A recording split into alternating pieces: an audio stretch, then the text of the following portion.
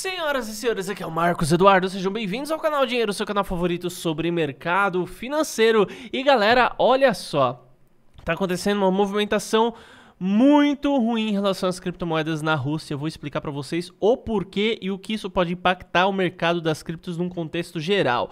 O primeiro link que estará na descrição é o da Binance. Essa é a maior corretora de criptomoedas do mundo. E usando o meu link para se cadastrar, você terá um total de 15% de desconto em todas as taxas de trade. E o segundo link é referente a um robô de operações que trabalha com API na Binance. Não sabe o que é robô de operações, não sabe o que, que é API, acessa aí que você vai entender perfeitamente. Então bora lá, ó. Nesse exato momento, o volume de criptomoedas na, na, nas principais exchanges cai 50% na Rússia. Por que isso está acontecendo? Ué, se a Rússia pode usar criptomoedas para fugir das sanções econômicas, então esse movimento seria algo imprevisível. Porém, eu vos digo o seguinte: o que acontece é que nós vemos uma pressão muito forte do Estado querendo que as corretoras não permitam que russos tenham conta lá. Então, quando você fala de sanções econômicas, uma pessoa que é russa, ela pode ter conta em banco. Ela ainda pode ter conta em banco, ela não é proibida disso.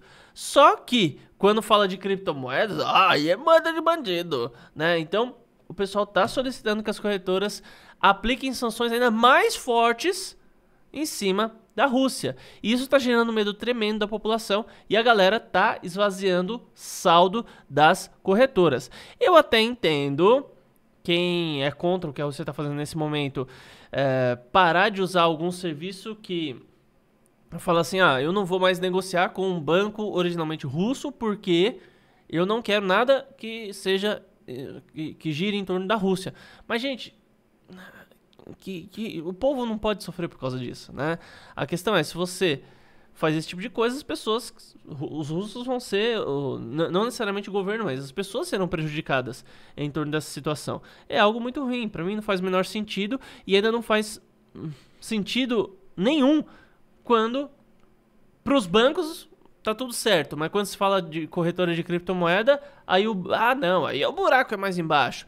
Realmente não está fazendo sentido esse tipo de determinação que alguns integrantes é, não só da OTAN, né, mas de vários países estão querendo que as corretoras façam. E a questão é a seguinte: as corretoras muitas vezes não tem nem sede, né? Você pega o caso da Binance. Onde que é a sede da Binance? Ela não tem sede. É um conjunto de pessoas que trabalha em torno do mundo todo. E com isso, não faz sentido você querer determinar alguma coisa para cima na corretora, né? Então, é, é, é, meio porcaria essa decisão aí.